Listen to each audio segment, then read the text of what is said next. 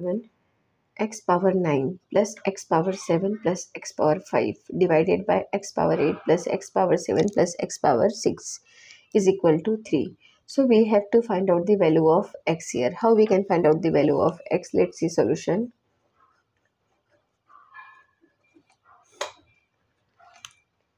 x power 9 plus x power 7 plus x power 5 divided by x power 8 plus x power 7 plus x power 6 is equal to 3 this is question right?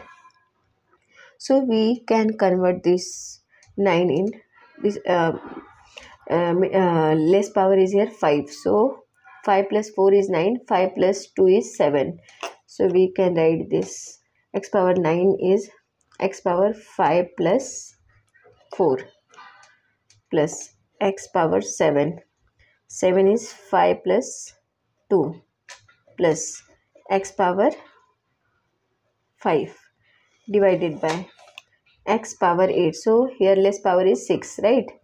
Lowest power that is 6 so we can convert this 8 here 6 plus 2 and this one is 6 plus 1 so here x power 6 plus 2 6 plus 2 is 8 plus x power 6 plus 1 is 7 plus x power 6 is equal to 3.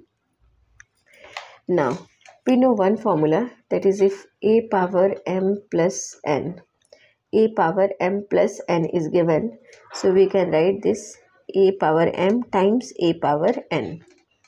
Now using this formula here we can write this one x power 5 times x power 4 so here x power 5 times x power 4 plus x power 5 times x power 2 plus x power 5 this one divided by x power 6 times x power 2 plus x power 6 times x power 1 plus x power 6 is equal to 3 right now here x power 5 x power 5 x power 5 so we can take common x power 5 in numerator.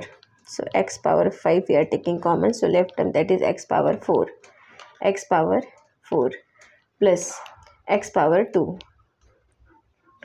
plus x power 5 is already we, we have taken common. So here 1 divided by now here x power 6 x power 6 x power 6 so we can take common here x power 6 so left term that is x square plus x plus 1 is equal to 3 right? Now here x power 5 here x power 6 so this power 5 will cancel this x power 5 so here left term that is 1 upon x. Right now we can write this one. 1 upon x times 1 upon x times here this is x power 4 so this x power 4 we can convert into square form. So x square whole square that is x power 4 plus x square plus 1 right? Plus 1 divided by here x square plus x plus 1 is equal to 3 right? Now we can here uh, in numerator we can here uh, add and subtract x square. So adding and subtracting x square in numerator we will get here so we will get here 1 upon x x square whole square plus x square plus 1 now plus x square minus x square. We are adding and subtracting here. So value will be same. Here x square plus x plus 1 is equal to 3 now here 1 upon x we can write this one. X square whole square plus x square plus x square it will become here 2x square 2x square plus 1 square. Plus 1 that is we can write here 1 square right? Minus x square this one. Minus x square divided by x square plus x plus 1 equal to 3 now this is the form of a square plus 2ab plus b square right? Where we can say where a equal to x and b equal to 1 so a equal to x square. A equal to x square plus 1 a equal to x square plus 1 and b equal to uh, sorry x b equal to x. So here x square plus 1 so we can write this one you can say here 1 upon x x square plus 2x square uh, x square whole square plus 2x square plus 1 so this is the form of x plus 1 whole square.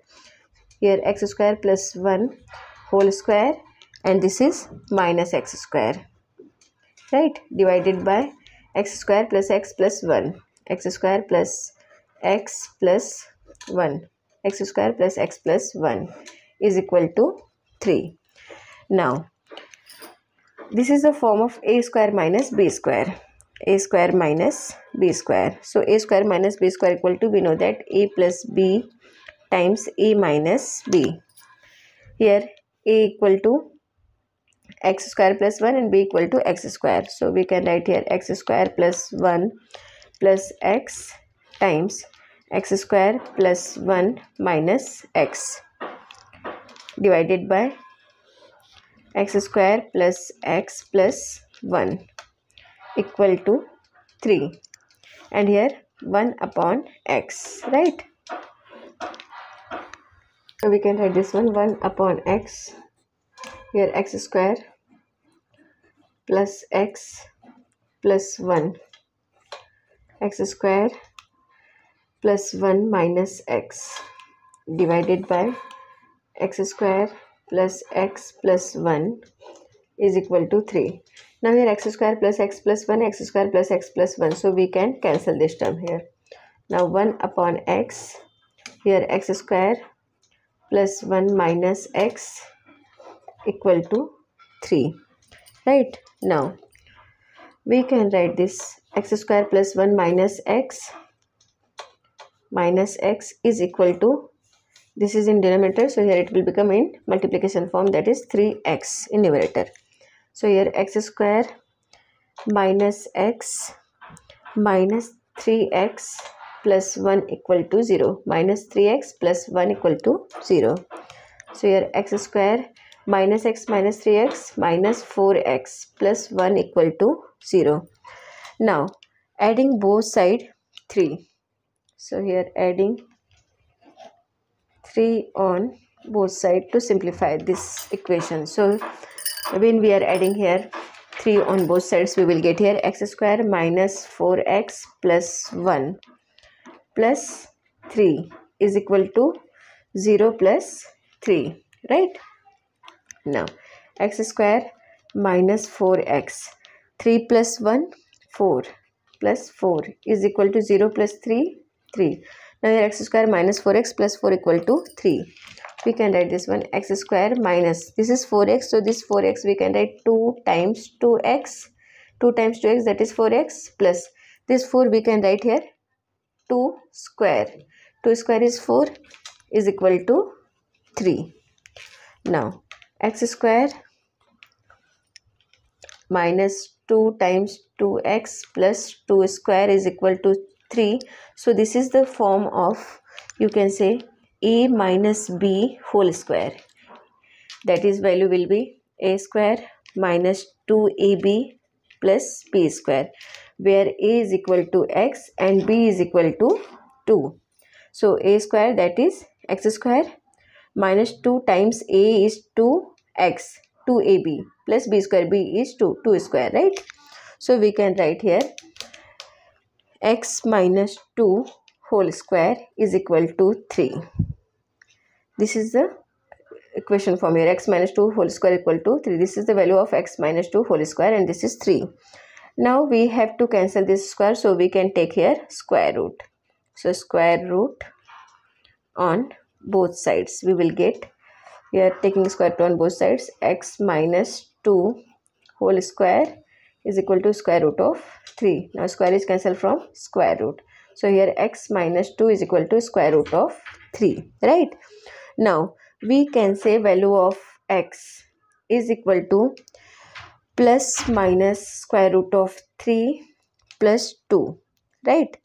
Or you can say value of x is equal to 2 plus minus square root of 3 this is the value of x in this equation this is the solution. Thank you